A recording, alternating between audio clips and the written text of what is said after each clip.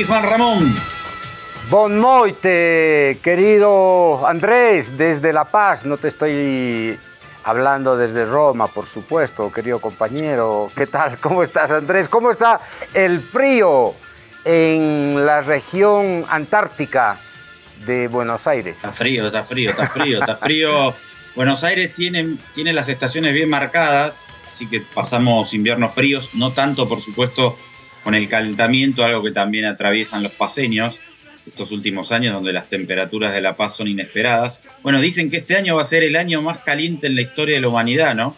Vamos a ver si se confirma, pero aquí el verano fue extremadamente cálido y los inviernos son cada vez más cortos, pero está fresquito.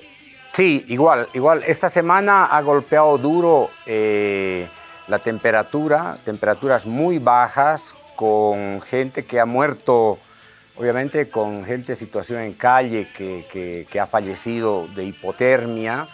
Eh, hemos tenido estas, estas últimas semanas, hemos tenido precipitaciones, hemos tenido bastantes lluvias, especialmente en el oriente, en, particular Santa Cruz de la Sierra, y se prevé que esta ola de frío va a continuar las próximas semanas. No sé la intensidad, pero vamos a estar obviamente bajo ah, asedio del frío. ¿Cómo estamos, Andrés, en cuanto a la temperatura geopolítica global, regional, vecinal? ¿Cómo, qué, temas has estado siguiendo? ¿Qué temas has estado colocando en nuestro radar de Coordenada Sur? Ah, y aprovecho para dar la bienvenida a todos nuestros compañeros y compañeras, amigos y amigas que nos ven domingo a domingo, hoy es 18 de junio, estamos a la mitad de la mitad del año, es un año que está corriendo muy deprisa y entonces un gran saludo a todos los que nos ven.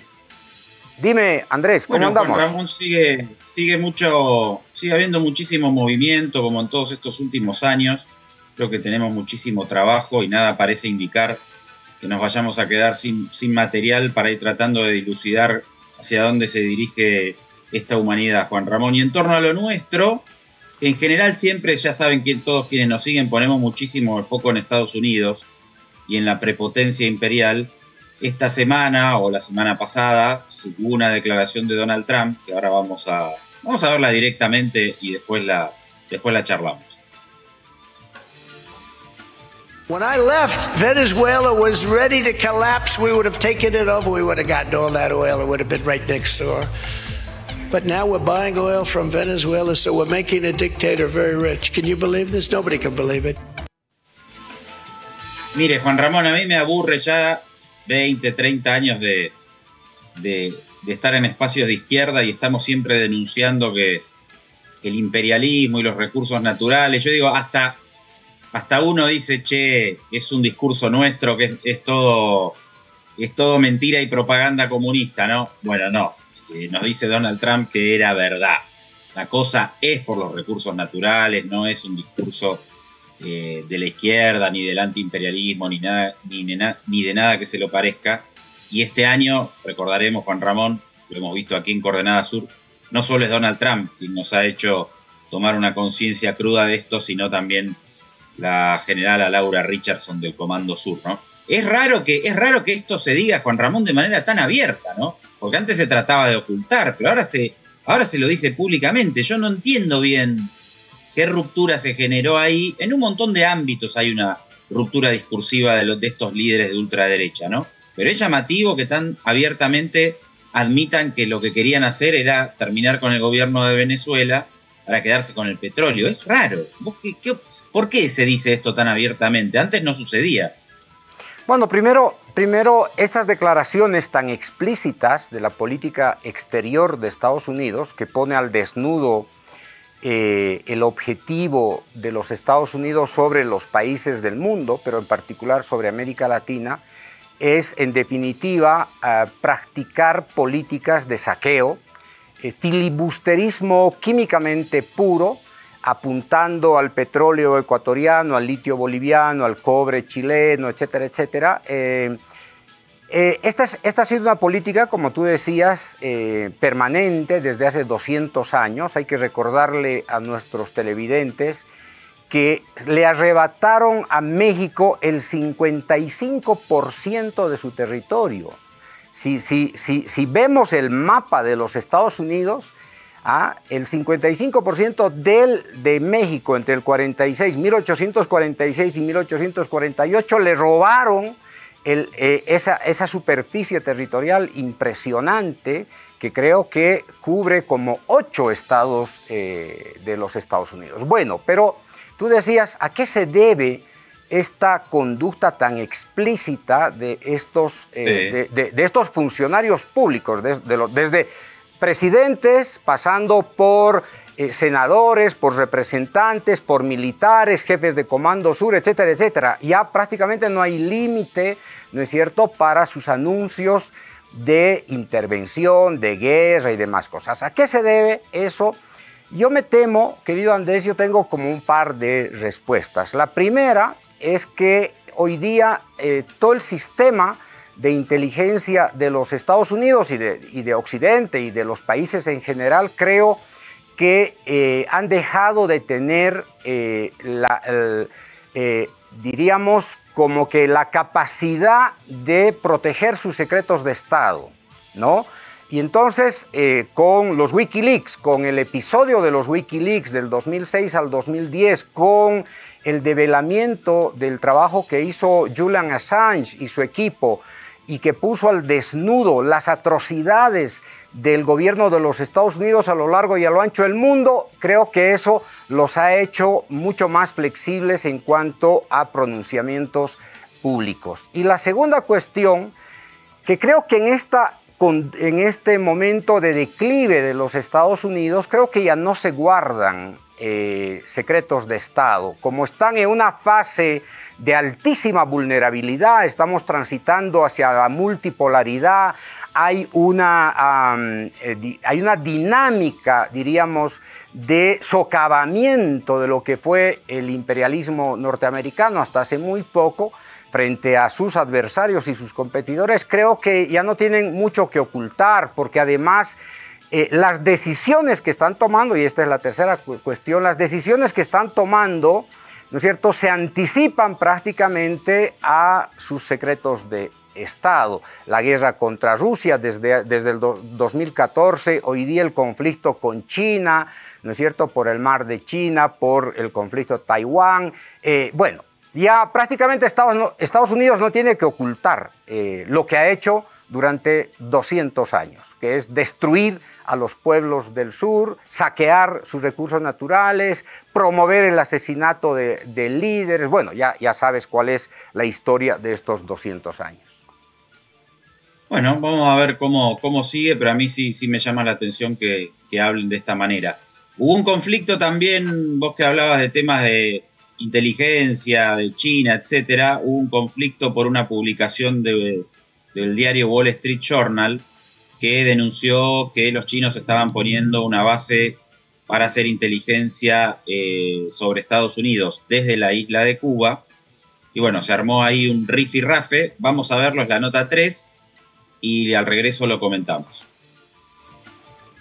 de la Guerra Fría con Cuba en el centro de la polémica nuevamente a flote, de acuerdo con la publicación de Wall Street Journal, que cita de manera anónima a dos funcionarios de inteligencia estadounidenses, China habría alcanzado un acuerdo con Cuba para instalar una base en la isla caribeña a cambio del pago de millones de dólares, que le permitiría espiar a los estadounidenses a 90 millas de las costas de Florida, al sureste del país. El Pentágono restó importancia a la publicación, calificándola como inexacta.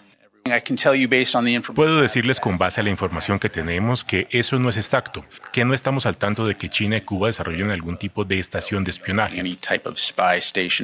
El secretario de Estado de Estados Unidos, Anthony Blinken, confirmó que China mantiene una base espía activa en la isla del Caribe desde al menos 2019.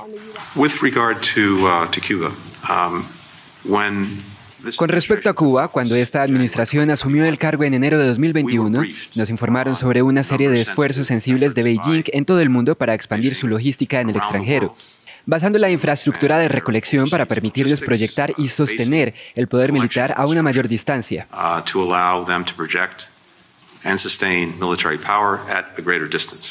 De hecho, según la información que tenemos, la República Popular de China llevó a cabo una actualización de sus instalaciones de recopilación de inteligencia en Cuba en 2019. De manera inmediata, el gobierno de Cuba rechazó estas aseveraciones. Las afirmaciones del secretario de Estado de los Estados Unidos sobre la presencia de una base de espionaje de China en Cuba constituyen una falsedad. La posición de Cuba sobre este tema es clara y categórica. Esas declaraciones carecen de sustento. Su propósito es servir de pretexto para mantener el bloqueo económico contra Cuba y las medidas de máxima presión que lo han reforzado en los últimos años y que son objeto de creciente rechazo internacional. El gobierno de China rechazó las afirmaciones y señaló que se trata de calumnias. En los últimos dos días hemos visto al gobierno y a los medios de Estados Unidos publicar una gran cantidad de información inconsistente sobre la supuesta construcción de las llamadas instalaciones de espionaje chino en Cuba. Una vez más, esto es solo una farsa montada por el autocontradictorio Estados Unidos. Bueno, por decir dos cositas muy cortitas. Primero que es raro que el Pentágono diga una cosa y la Cancillería otra, ¿no? El vocero Blinken y el militar. Después que el tema es Mm, es delicado porque recordemos que la humanidad estuvo al borde de una guerra nuclear por la crisis de los misiles que la Unión Soviética colocó en Cuba en los 60. No, voy a comparar con esto porque es muy diferente, pero sí la sensibilidad del asunto de que Estados Unidos se sienta amenazado por labores de inteligencia o eh, amenazas militares de otras potencias. Y hoy tenemos una guerra del otro lado, Rusia y Ucrania, porque Estados Unidos le ha cascoteado el patio trasero de Moscú, ha querido sumar a Ucrania a la OTAN, ha puesto bases en Europa y Rusia ha dicho basta de esa influencia, de esa injerencia en su zona de influencia. O sea que lo que sucede en las zonas de influencia de las grandes potencias sí es muy importante y sí tiene una sensibilidad. Vamos a ver qué continuidad tiene esta denuncia en el caso de Cuba. Obvio que no es lo mismo misiles o bases militares que una estación para realizar inteligencia, pero igualmente es delicado. Sí. Bueno, pero ah, Andrés, eh, estas declaraciones aparentemente contradictorias entre el Pentágono, los servicios de inteligencia y el Departamento de Estado, primero te da, te, está señalando quién manda en los Estados Unidos. Me temo que hoy día hay un proceso de pentagonización imperial eh, y que está y eso va mm, está por encima de cualquier expresión eh, política del Departamento de Estado. Así que Blinken debe Pero el Pentágono... Sí. Perdón, el Pentágono fue, fue más moderado que por Blinken. Eso, precisamente por eso, precisamente por eso.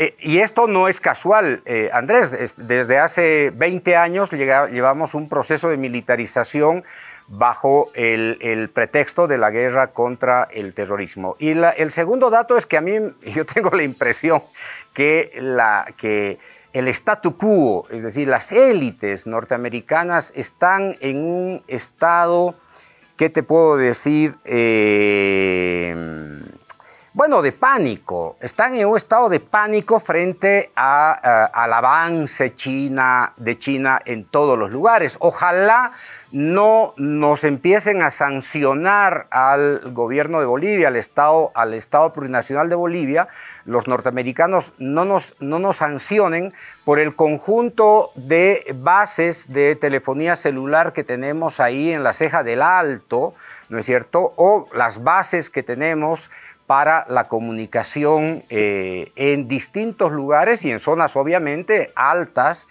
eh, para que pueda, se pueda mejorar el sistema de comunicación en, Bolivia. Por lo tanto, mm, esta, esta eh, además has visto esa, esa fotografía de dos, de dos platos ahí casi en estado de, de oxidación ¿no? considerados eh, radares, sistemas para el monitoreo de la información del Servicio de Inteligencia de los Estados Unidos. Realmente eh, me temo que están ingresando en una fase de ridiculización, de autorridiculización los norteamericanos, ¿no es cierto? Y ojalá no le declaren la guerra a, la Argentina, que tiene una, un centro de observación, creo, astronómica. Los chilenos ¿eh? tienen también y, y, otros países. Entonces, este es el ah. mejor argumento, ¿no es cierto?, para golpear desde el Pentágono a los países que tenemos alguna relación amable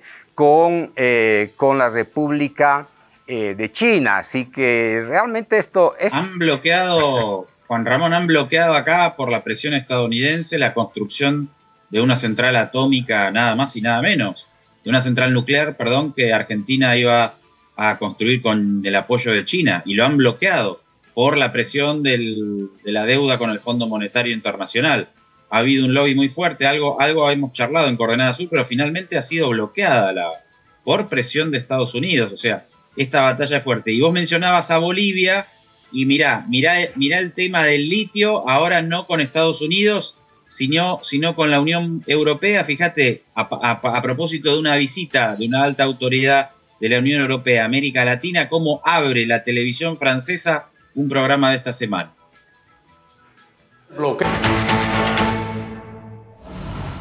Europa está de vuelta en América Latina. Así lo dijo la presidenta de la Comisión Europea, Ursula von der Leyen, en el primer día de su gira por la región.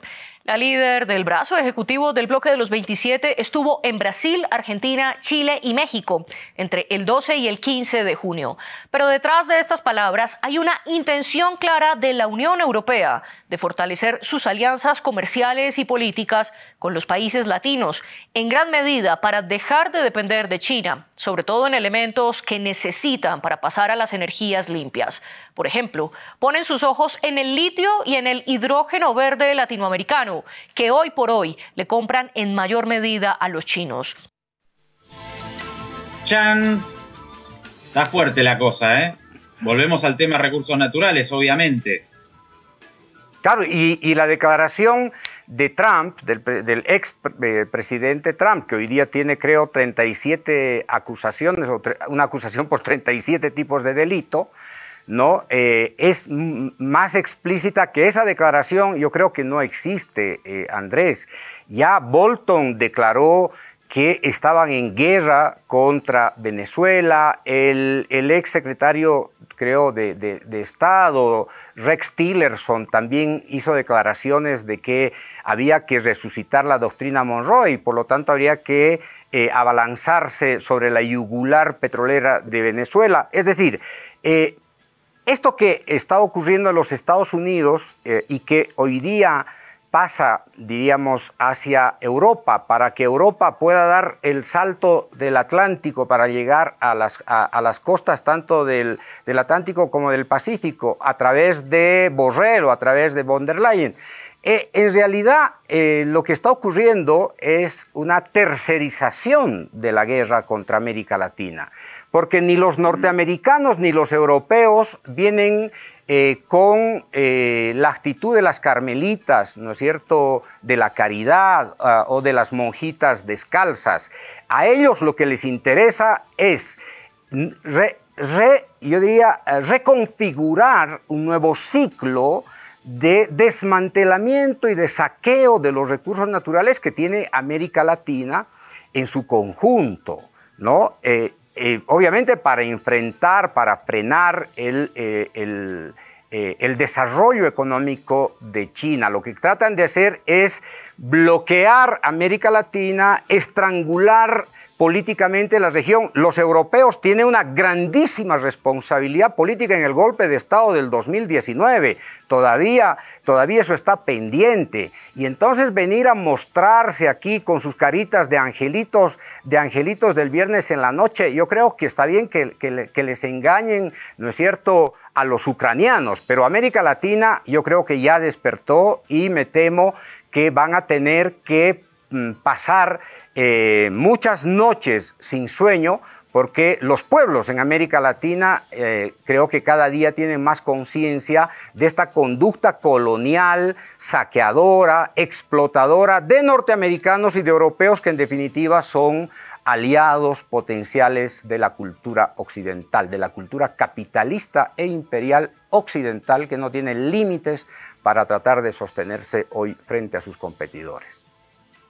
Y seguimos, estaba pensando Juan Ramón, seguimos en una mina de oro acá, porque tenemos la Amazonía con esa reserva de oxígeno, el acuífero guaraní, ahora el litio que se transforma en algo hiperestratégico para la humanidad los, recursos energéticos en Venezuela, eh, ni que se diga también las posibilidades que, o la riqueza que tiene Bolivia en medio de esta batalla geopolítica y vemos que se mueven, tanto uno se mueve Estados Unidos, se mueven los europeos, se mueve China, estamos, me parece que, y en medio de Lula diciendo, bueno, unámonos, tenemos que ver cómo administramos esto de una mejor manera, pero me parece que es importante que podamos tomar conciencia en este momento de la humanidad, ya ha sido así también en la época colonial, pero me parece que en base a otros recursos naturales, ¿no? En la Segunda Guerra eh, Mundial por ahí era el estaño, ahora es el litio y otra vez está en Bolivia, también obviamente en Argentina y en Chile, pero el agua, que sabemos las dificultades ambientales que, que vamos a enfrentar en las próximas décadas, y la finalización de los recursos energéticos, de los combustibles fósiles y con la reserva que tiene Venezuela ahí, me parece que va a ser en las próximas décadas nuestra región un territorio en, medio de una gran disputa por parte de las potencias hegemónicas, evidentemente. ¿Te parece que me gustaría invitarte, no sé si tenías algún comentario más ahí que te quedó pendiente, pero te quiero hacer una invitación para que analicemos al presidente del Salvador que está impactando muchísimo en la región a la vuelta del corte? Antes, Andrés, eh, para, para, complementar tu comentario, tú decías que eh, esta lógica eh, de saqueo de los recursos naturales no ha cambiado desde la llegada de los españoles, de los ingleses antes que los españoles, por si acaso, ¿no? hacia, hacia, la, hacia la región. Pero la lógica de saqueo no ha cambiado. Pero la lógica del saqueo, Andrés, reposa sobre una lógica, ¿no es cierto?, colonial, sobre una ideología colonial. Esa es la que no ha cambiado. Y hoy día lo escuchas a Trump, ¿no? Eh, recordar que en su gobierno estaban a punto de destruir eh, Venezuela para quedarse gratuitamente con su petróleo. Esa lógica supremacista, racista, etnocéntrica, eurocéntrica, ¿no es cierto? Esa no ha cambiado, porque tampoco se llevan el, eh, se llevan el estaño, se llevan el guano, se llevan el salitre, se llevan la plata, el oro, el litio, el cobalto, etcétera, etcétera. No se llevan, ¿no? Eh, haciendo una diplomacia comercial, se la llevan mediante la política del garrote. Yo estaba leyendo a propósito de lo de Trump, para que veas que lo de, lo de, lo de Trump no es algo nuevo. Esta actitud de desprecio no es, no es, no es algo nuevo en, eh, eh, en, en, esta idea supremacista de, de los europeos. época, ¿Hasta qué época me vas a llevar? No, no, no, solamente te quería, solamente te quería leer, quería leer. No, no, digo por el año, porque a mí me llamaba la atención el bueno, tono. Mira. ¿Hasta qué año hay que retrotraerse? Ah, no, esto, esto es desde, desde, fines del siglo XVIII, Andrés, desde fines del siglo XVIII. ¿ah? Eh, mira, por ejemplo, a ver, te, te, voy a leer eh, un párrafo de Frontera Salvaje Ah, sugerimos que los compañeros puedan adquirir este libro. Además está, creo que está en PDF y pueden bajarlo gratuitamente, de Jorge McFood, ¿no es cierto? En 1846, lo que la carta que le manda el general Winfield Scott al secretario de Estado de los Estados Unidos y le dice, mira, si reportamos un décimo de lo que se sabe, decir que nuestras milicias y nuestros voluntarios han cometido atrocidades, horrores en México, lo suficientes como para que el cielo y cualquier cristiano se avergüence de nuestro país. El robo, los asesinatos y las violaciones de madres e hijas delante de sus esposos maniatados ha sido algo común a lo largo de esta región del Río Grande. ¿Te parece algo familiar ahora con las cárceles de Guantánamo, Abu, Ghraib, eh, ahora que se queja Blinken de que lo están espiando desde Cuba y las mil bases militares que tienen a lo largo y a lo ancho del mundo y las barbaridades que hacen en las bases y en las guerras, etcétera, etcétera, eh, ahí está. Sí, hay que, hay que reflexionar y hay muchas cosas que nos debemos como humanidad aprender y salir de estas lógicas porque no nos están llevando a ningún, a ningún lugar constructivo y lamentablemente cuando volvemos a ver a Trump haciendo una declaración tan insolente... Como la de Borrell, Andrés, como la de Borrell, ¿no es cierto? Que nosotros somos una jungla, que nosotros somos los salvajes que amenazamos la fortaleza europea, el jardín europeo, ¿no? Y en definitiva es esa cultura dominante, lo hablábamos en el programa de la semana pasada, la que nos termina llevando una lógica de, confrontación bélica permanente, ¿no? Porque en definitiva lo que termina sucediendo es que para ocupar esos recursos naturales se desarrollan invasiones, etcétera, etcétera, etcétera. Y para, bueno, en fin, lo que ya sabemos eh, y lo que ya saben quienes nos siguen a través de esta pantalla de coordenada azul por el AVIA ayer. Tratamos Bukele a la vuelta, que es muy difícil de, encuadrar. Excelente, me parece eh, una, ah, me parece un caso eh, paradigmático, la política de seguridad de Bukele en El Salvador, en Centroamérica. Dale, a la vuelta del corte. Estás viendo Coordenada Sur. Continúa Coordenada Sur. En El Salvador, al menos 160 personas, en su mayoría hombres jóvenes, han muerto mientras se encontraban bajo custodia de agentes de seguridad del Estado durante el régimen de excepción impuesto por el presidente Nayib Bukele para combatir a las pandillas, a las maras. Organizaciones humanitarias han identificado patrones de muertes por tortura, por tratos inhumanos o degradantes y según un reporte se identificaron cadáveres con evidencias de golpes, heridas con objetos punzantes o contundentes, estrangulación y otros signos de tortura. Hasta ahora el gobierno de Bukele no ha emitido ningún reporte oficial sobre la muerte de estas personas en prisión. La organización humanitaria Cristosal demanda que el Estado salvadoreño aclare estas condiciones de los detenidos en las cárceles y responda por las muertes bajo su custodia. Bueno, Nayib Bukele, presidente de El Salvador, un chico joven, que rompe con la hegemonía bipartidista de Arena y el FMLN, que es muy difícil de clasificar ideológicamente. Desde la izquierda lo miramos como un representante de la ultraderecha, se empiezan a... tiene una batalla a muerte contra las maras, tiene resultados exitosos, por ende una gran popularidad.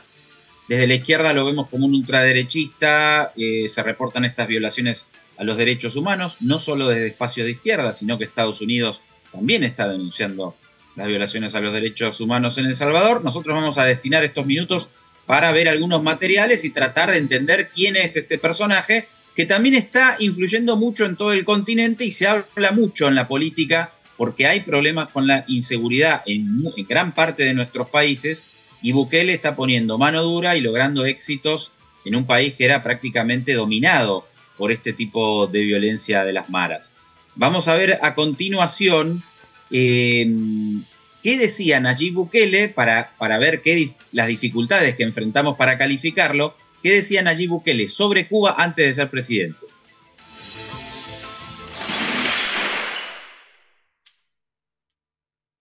Nacen cada siglo de que dejan una huella muy profunda en la historia, independientemente si para ti o para alguien esa huella puede ser positiva o negativa. ¿Para ti qué era? Bueno, para mí yo creo que, yo siempre lo he dicho, para nosotros Cuba debe de ser debemos de tomar lo bueno de Cuba. Por ejemplo, yo he estado en Cuba varias veces de vacaciones, pero el sistema de salud de Cuba, cuando tú vas aquí al Hospital Rosales, por ejemplo, y ves que la gente haciendo colas en un hospital que literalmente se está cayendo, donde no hay medicinas, y ves esos hospitales en Cuba donde la salud pública es de primera calidad, tanto que incluso gente de Estados Unidos va a Cuba a curarse, quisieras tener un sistema de salud pública como el cubano. Claro. Cuando tú ves aquí niños durmiendo en la calle y ves a Cuba, que es el único país del mundo que no tiene niños durmiendo en la calle, porque hasta en París, yo estuve en París hace poco y ahí ves niños durmiendo en la calle, sobre todo ahora con el tema de los refugiados. En Cuba es el único país donde no ves niños durmiendo en la calle. Eh, cero analfabetismo, el sistema educativo de Cuba es uno de los mejores del mundo, a diferencia de nuestro país donde están cayendo las escuelas. Entonces, no, bueno, eh, nos ganan en ballet, en danza, en arte, en deporte. Es el país latinoamericano con más medallas olímpicas de, más medallas olímpicas de todos. Incluso, sumando la mayoría de países latinoamericanos, no llegamos a la cantidad de medallas olímpicas que tiene Cuba. Ahora bien, hay cosas de que obviamente creo que no debemos de copiar de Cuba, pero sí creo que Cuba es un pueblo amigo eh, y donde podemos tomar muchos ejemplos. Incluso, eh, lo he dicho anteriormente, deporte, arte, salud, educación, seguridad. En Cuba tú puedes caminar a las 2 de la mañana y la gente que conoce Cuba no me deja mentir. Sí, sí, sí. Y puedes caminar a las 2 de la mañana en cualquier parte de Cuba en total seguridad. Yo estoy seguro que en El Salvador, donde tenemos 13 homicidios diarios, donde tenemos más de 100 homicidios por cada 100.000 habitantes, una de las tasas de homicidios más altas del mundo, versus Cuba con una tasa de homicidios de prácticamente cero. Eh, pues es una de las cosas que deberíamos de emular. Entonces, en lugar de, estar peleando por geopolítica y que derecho e izquierda, yo creo que deberíamos de copiar lo bueno de cada país. Bueno, acá lo ves a Bukele, decís, es amigo de Cuba, es un dirigente de izquierda. No podríamos ver a Bolsonaro hablando así de Cuba. Ahora vamos a ver una declaración en una línea diferente. Hace un par de días, Bukele estrena un gimnasio en una cárcel pero para los policías. Vamos a ver la imagen. Los policías de El Salvador en la mega cárcel donde mantendrán su salud y se harán más fuertes. Las máquinas totalmente nuevas, equipado al 100%, de uso para todos, señor presidente instalaciones. Para todos los custodios, policías y soldados, no para los, no para los. No para los, estos criminales que solo se merecen que ya vamos a ir a cada uno de estos sectores y vamos a ver las condiciones que ellos deben de estar. Claro. Pero esto es para, para nuestras fuerzas de seguridad. Todo ha sido diseñado justamente para que ellos puedan hacer sus rutinas diarias y puedan mantener su salud también. Esto es algo eh, novedoso, ningún centro penitenciario. Aquí no. Eh, aquí no, obviamente. En ese país, históricamente, nunca fue pensado en la gente. Y como usted bien lo explicaba, quienes tenían las condiciones en realidad eran los criminales. Pero eso cambió, eso cambió su gobierno. Parecería el sentido común, lastimosamente. El sentido común era lo menos que había aquí. Era lo menos común que existía. Bueno, un discurso que va muy en contra de lo que estamos acostumbrados en la izquierda, a diferencia del Bukele que veíamos antes. Un Bukele que, y además si ves otras imágenes, es muy amigo de las fuerzas de seguridad, promueve un discurso de mano dura contra la delincuencia, pero además acá lo vemos promoviendo una esfera de, directamente negando la reinserción de quienes van a las cárceles, que es el espíritu humano que siempre hubo en quienes eh, terminan privados de la libertad, ¿no? que puedan estar en un lugar donde se van a reinsertar en la sociedad y no condenarse a un ostracismo eterno. En principio, bueno, tenemos más materiales eh, de Nayib Bukele. ¿Vamos a ver uno más o querés comentar algo, Juan Ramón? ¿Qué, qué otro material sigue, Andrés? Lanza, una, lanza la guerra contra la corrupción la semana pasada. Nos, quedaremos en, el capítulo de seguridad, ¿te parece un par de minutos? Dale. Bueno, a ver, yo creo que Bukele, eh, en primer lugar, ha ganado, la, ha ganado las elecciones con una propuesta durísima de lucha contra la delincuencia. Y la delincuencia se ha convertido para Bukele prácticamente en, eh, podríamos decir, en la brújula de la, política del Estado salvadoreño. estas políticas, que suelen llamarse de populismo jurídico, colocan en el primer renglón la violencia del Estado, ¿no? Eh, por lo tanto, cuando, cuando, la violencia proviene del Estado, eh, tú a esa violencia le llamas derecho. Pero cuando la violencia eh, proviene del, del, ciudadano, por lo tanto, tú a esa violencia tú le llamas delito. ¿no? Aquí hay una, hay una dicotomía tremenda que se tendrá que resolver en el tiempo. Pero la política de seguridad de Bukele es una, es una política que está centrada en la mano dura. Es una política muy cercana a todas estas propuestas tipo bolsonaristas, trumpistas, ¿no es cierto? Eh, piñeristas, duquistas. Eh, no, no te confundas ahí, eh, Andrés, y que no se confunda nuestro, nuestro público, la política de Bukele lo que ha hecho es convertir el tema de las maras, el tema de las pandillas, digamos, en lo que ha convertido Duque, Uribe, etcétera, etcétera, con el Ejército de Liberación Nacional o con el narcotráfico. Eh, eh, no, Bukele todavía no está hablando del, del, narcotráfico, está hablando de las pandillas. Esas pandillas ¿ah? Que en parte se incubaron en, El Salvador después de la guerra civil, pero gran parte de esas pandillas, de los dirigentes de esas pandillas, provienen de los Estados Unidos, con toda la carga de violencia, con el uso de las armas, con la capacidad organizativa de, mafias eh, eh, que se instalaron en, en algunos estados de los Estados Unidos, se trasladó a el Salvador y eso convirtieron, El Salvador convirtieron en un Estado prácticamente sin Estado. ¿no es cierto?, en, una, en, una, sociedad sin ley. Y la única ley era la de las maras. Claro, Bukele eh, lo que hizo fue eh, aplastar eh, a ese monstruo de mil cabezas por, con la mayor fuerza, no la fuerza de la ley, ojo, ¿ah? ahí están los márgenes de la violación de derechos humanos, muertos, ¿ah? muertos, son más de 150 muertos eh, asesinados en las cárceles que Bukele ha construido.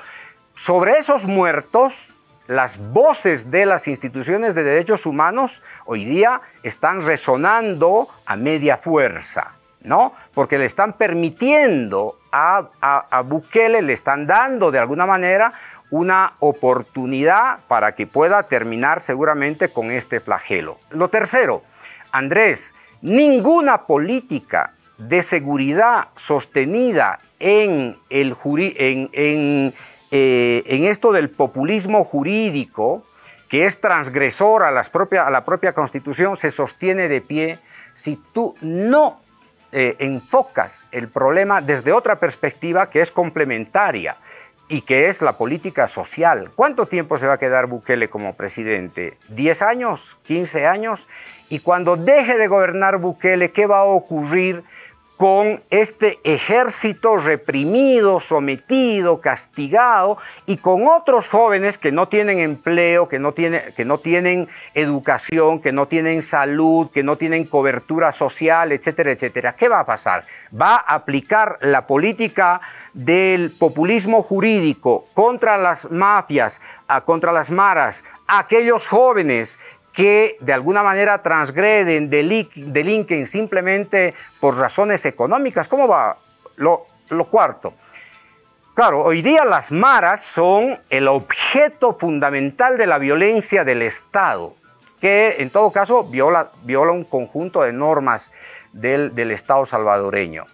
La pregunta es, ¿esta, ¿esta política se aplica con el mismo rigor del delito, de la violencia, ¿no es cierto?, de las maras, ¿se aplica con el mismo rigor al narcotráfico? ¿Se aplica con el mismo rigor a los delitos de cuello blanco, que son los que generan precisamente desigualdad, que generan, ¿no es cierto?, pésima distribución de riqueza y todo eso? ¿Se aplica, ¿se aplica esa misma política? No.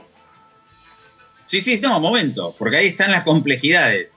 Y lo de cuello blanco, acaban de incautar 85 millones de dólares al expresidente Cristiani. O sea, por, ahí, ahí hay una complejidad. En los derechos humanos no hay donde perderse, ¿no? Pero después hay una complejidad. Vamos a ver la guerra que lanza eh, contra la corrupción y después seguimos por esa línea con Ramón Dal. Perfecto. En cuatro años el Salvador es otro país. Eso no lo puede negar nadie, ni siquiera la oposición. Hemos tenido que trabajar muy duro para llegar hasta acá. No tengo que repetir la historia porque los salvadoreños la conocen bien. Saben de primera mano cómo es vivir en un país controlado por terroristas, sin libertad, sin esperanza, ni, sin nada. Y lograr lo que aquí hemos logrado no ha sido el trabajo de pocas personas, sino una labor titánica de miles de salvadoreños. Algunos de ellos incluso perdieron su vida para salvarla de otros. Ahora tenemos un nivel de seguridad de que países de Latinoamérica sueñan. No lo digo para jactarnos, sino para que cada uno lo analice y sea consciente de lo que hemos logrado. Ningún otro presidente podía siquiera, no quería, pero si, hubiera querido, no podía siquiera tomar decisiones porque no venían aprobadas por sus financistas. Mientras que nosotros solo le rendimos cuentas a los salvadoreños. Por eso hemos podido tomar las decisiones que había que tomar. No rendimos cuentas a la comunidad internacional. No nos doblegamos ni ante los países que nos quieren decir cómo debemos resolver nuestros problemas cuando ellos ni siquiera pueden resolverlos de ellos. En El Salvador hicimos lo que ningún país de Latinoamérica pudo hacer. Ni siquiera...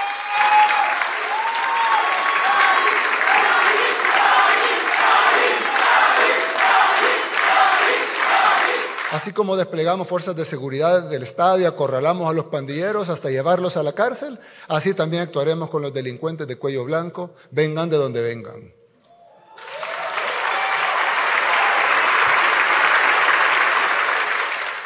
Pero no solo usaremos todas nuestras herramientas legales para llevar a cabo esta guerra, sino que así como construimos una cárcel para los terroristas, también construiremos una cárcel para los corruptos.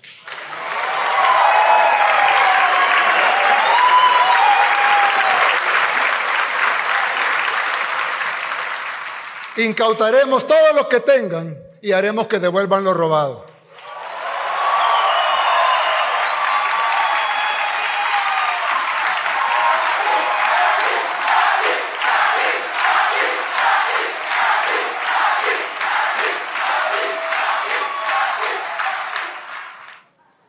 Creo que, creo que algunos se han dado cuenta que no nos acompaña esta noche el señor fiscal general de la República es porque en este momento el fiscal general se encuentra allanando y extinguiendo el dominio de todas las propiedades de Alfredo Cristiani.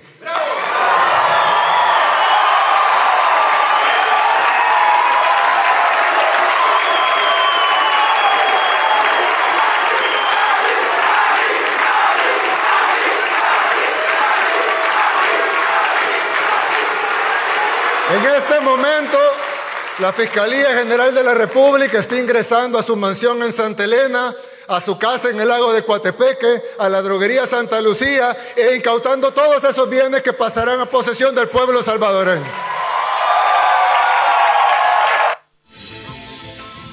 Y termina esto, Juan Ramón, esto sucedió la semana pasada y la televisión pública se va con el fiscal eh, general a una de las casas del expresidente Cristiani y nos va a mostrar esto que vemos ahora liderando un esfuerzo para tratar de combatir la corrupción, venga de donde venga, y en contra de cualquier personaje que se haya apropiado de dineros públicos. En este caso, estamos eh, tomando posesión, de acuerdo con la ley de extinción de dominio, de la vivienda del, ex, del expresidente Félix Alfredo Cristiani Burcar.